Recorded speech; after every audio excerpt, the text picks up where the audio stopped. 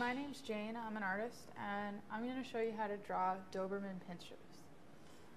We're going to do the head first, and that's a little arc there, and then pointy ears.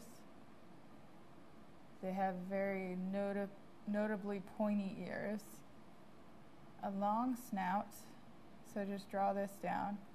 Actually gonna and a large nose. They have these markations here over the eyes.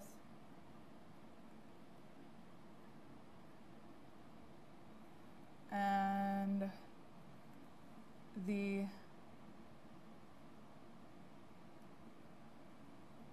mouth curves up like that. I'm going to do the skull comes out, flares out a little bit at the cheeks. And then comes down like so. The chest curves in a little bit. And the back goes like this. It's very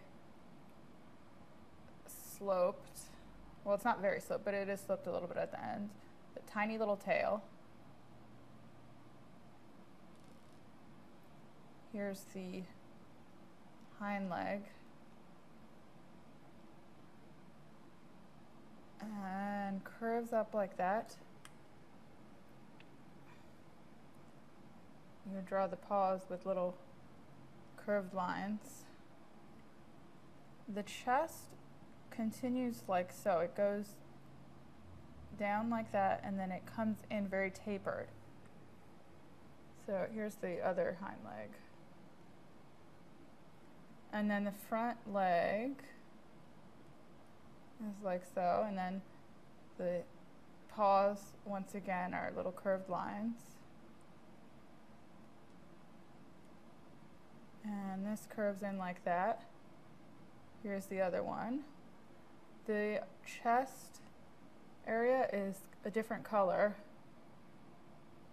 than the rest of the fur, which is black. So we'll just color that in like so. And the paws have that color too. So, you know, if when you're doing your drawing, you just color it in. Here's the tail again.